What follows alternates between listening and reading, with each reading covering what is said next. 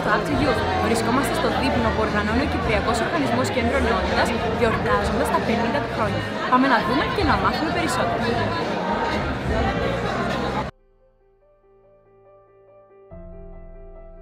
Κώστα, ποιος είναι ο λόγος που τόσοι νέοι είναι μαζεμένοι εδώ σήμερα; Σήμερα ο οργανισμός μας γιορτάζει τα 50 χρόνια προσφοράς στο κέντρο νεότητος. Όπως γνωρίζουν όλοι, το 1968 ιδρύθηκε το πρώτο κέντρο νεότητος στον Άγιο Αυρόσιο Κερίνιας, το οποίο σήμερα είναι κατεχόμενο, αλλά το κέντρο νεότητος Αγίου Αυροσίου λειτουργεί μέχρι και σήμερα.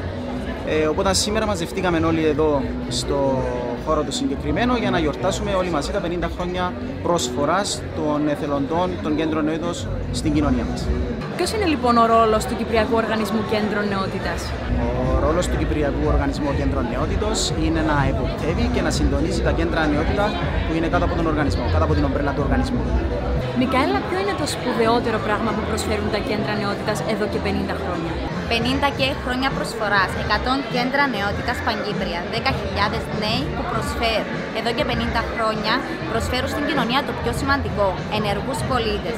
Μέσα από τα κέντρα νεότητας οι νέοι γίνονται εθελοντές, είναι εθελοντές, ζυμώνονται μέσα από τα κέντρα νεότητας και προσφέρουν στα χωριά τους, στην κοινότητά τους και στην κοινωνία γενικότερα. Προσφέρουν χωρίς κάποιο αντάλλαγμα.